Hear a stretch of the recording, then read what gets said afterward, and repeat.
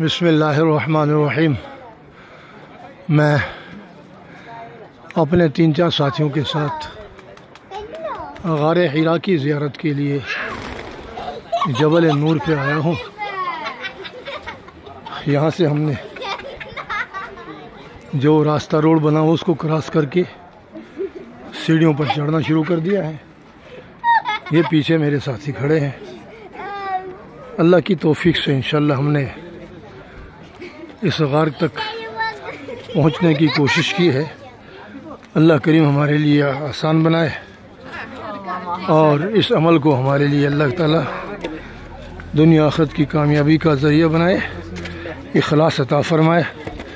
کیونکہ اس غار میں جانے کی سوائے اللہ کے محبوب صلی اللہ علیہ وسلم کی نسبت کے ہماری کوئی غرض نہیں ہے۔